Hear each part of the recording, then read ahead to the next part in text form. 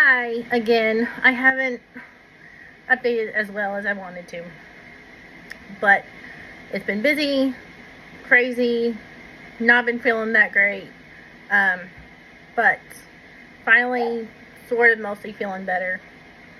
Um, my last update was that we were getting ready for the transfer, I believe. think I had one more appointment um, to make sure everything still looked good. I had that. Everything looked good. Um, it was still going the right way. Um, we had the transfer on August 30th. So we went up there for that. And then um, it went well. And we waited two weeks. Well, almost two weeks. About 10, 10 days. And I took a pregnancy test and it was positive. And then we waited until the blood test and then that also confirmed it was positive, which was amazing, which was awesome. Um, and then, then two days later, I had another blood test just to make sure that the numbers were still rising, which they were. So I am almost six weeks. I'll be six weeks on Friday. So there's that. Um, it's been quite the ride.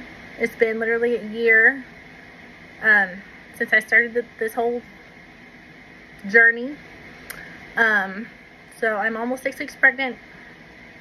And I honestly, I never thought I'd be pregnant again. So, um, because we're happy with our two kids. Um, but I do like being pregnant, minus the sickness and everything, which I didn't really have with my pregnancies. Um, I had more of like a pain. My son was like on a nerve, which made it like hard to move without hurting and being in pain. But other than that, I don't really remember being sick. Um, so this time, I'm more sick than I was with my others. So, but it is obviously another pregnancy, so all pregnancies are different, but I will hopefully update more now that I am pregnant. Um, so still trying to kind of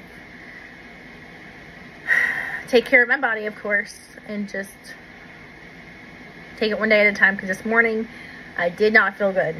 And so what helps me is if I get dressed and ready to go, do my makeup, do my hair, you know, look